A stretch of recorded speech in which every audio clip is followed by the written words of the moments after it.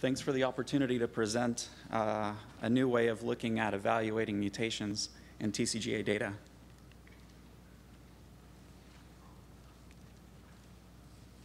We've seen these plots before.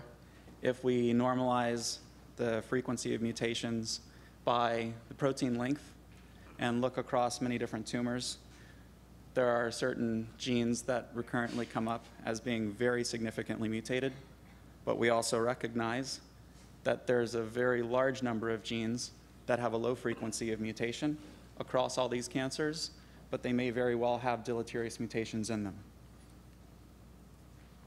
An example here from stomach cancer is showing that there are three samples that have mutations in two different positions within this protein.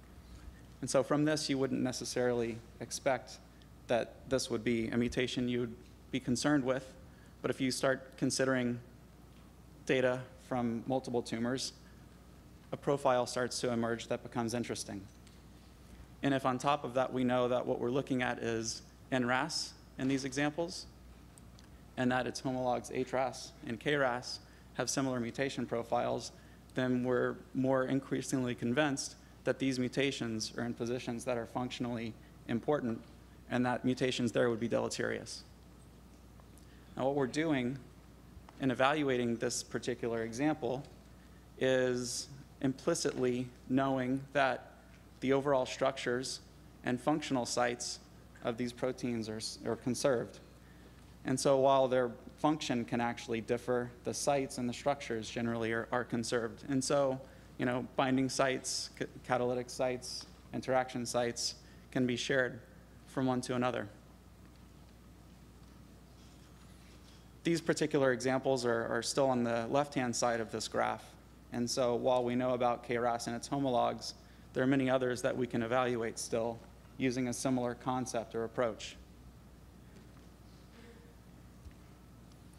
So this is a very typical plot that we would see for a given gene that has a low frequency of mutations. And if we look across many of the different TCGA tumor types, we'd also see, if we were to go based off of mut-sig rank, that it wouldn't really emerge to the top. And so this would be discarded almost entirely. But if we take this domain alignment approach, then what we can begin to do is take different genes across cancers and align their domains, and then look for positions within these domains that have mutations that occur more than you would expect by chance. This particular approach applies to about 40% of missense mutations. It leaves out a class of others that could very well be identified through, you know, clustering, identifying hotspots elsewhere in, in the coding sequence. It also excludes uh, nonsense and frameshift mutations in, in certain genes. But what we're really focused on is trying to identify genes that are in the tail of the distribution that have positions when aligned that you see recurrent mutations. So here's an example of the type of data that you would get from aligning several or a couple hundred homeobox domains across the 20 different tumor types. And qualitatively, we can already see a number of points that are of interest. And the way that we quantify this is by calculating a modified z-score.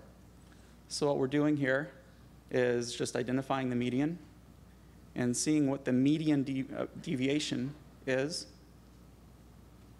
and then quantifying that by, for every point, calculating what its deviation is from the median and comparing that to what the MAD is here. The median of absolute deviations about that median. So this particular point here has a modified z-score of 8. And if we do this for all positions in all domains, then we come up with a summary plot like this, where as we have increasing counts, there are certain very clear outliers. Many of these are P53, PIK3CA, a lot of the ones that we would expect. There's also a number along the baseline here. The point size is related to the total number of genes contributing to the counts.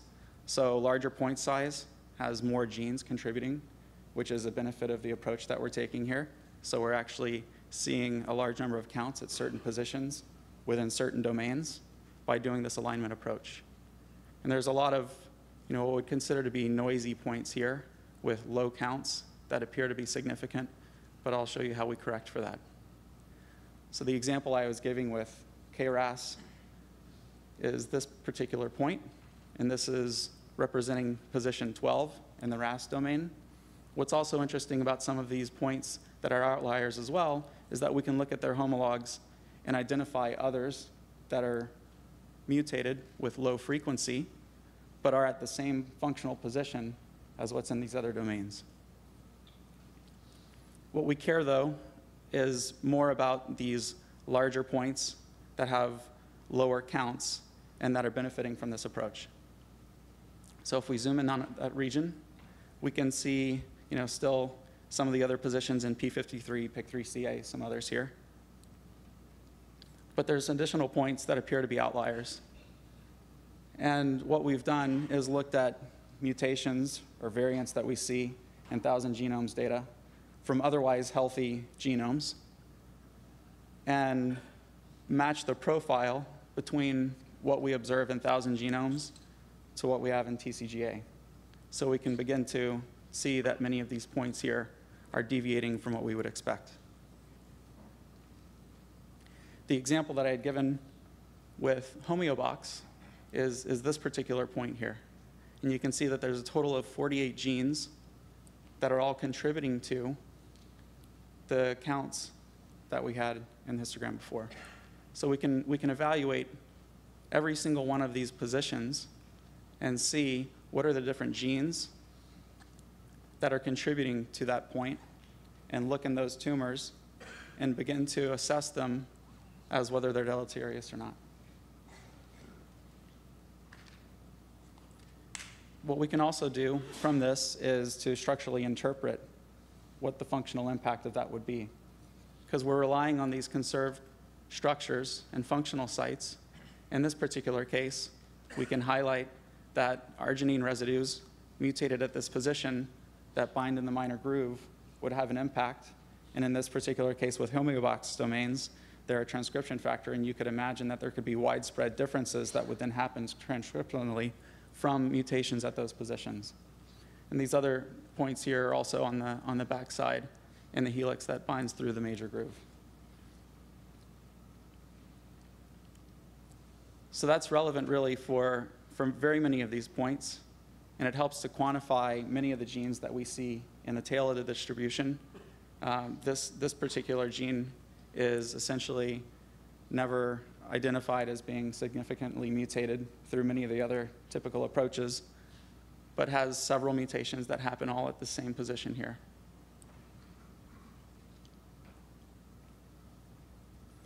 So to summarize, what we've done is gone comprehensively across all positions and all domains having been aligned and identifying those positions that appear to be deleterious based on modified z-scores and distributions compared to 1,000 genomes.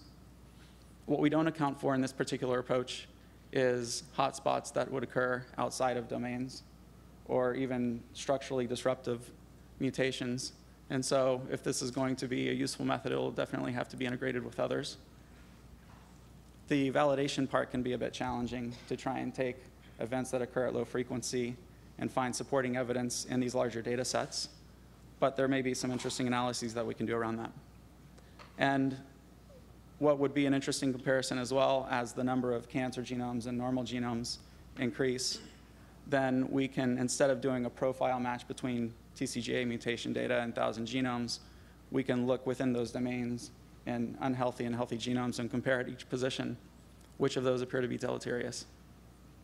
So much thanks to Ilya and the group, Tay and Teo specifically, and many others who helped out with the analysis. I'd be happy to take questions.